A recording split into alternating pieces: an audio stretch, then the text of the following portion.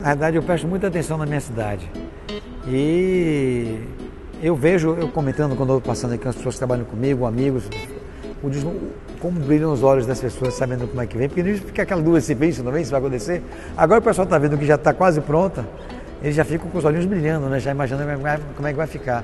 E para mim o mais importante exatamente é uma ocupação, um aproveitamento maior do espaço físico interno. Isso para mim, para mim isso é o mais marcante. Fora a beleza de, de design, de arquitetura, que isso aí é dispensa comentários. Eu acho um espetáculo. Todas as gerações que tiveram a oportunidade de passar por lá, eu vibraram, choraram, rasgaram camisa, tocaram fogo em camisa.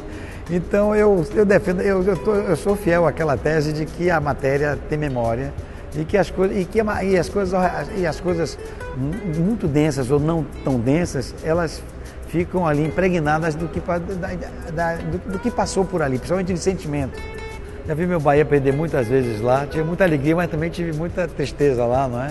Eu me lembro que 16 de abril de 69, o Bahia empatou pela terceira vez de 0 a 0.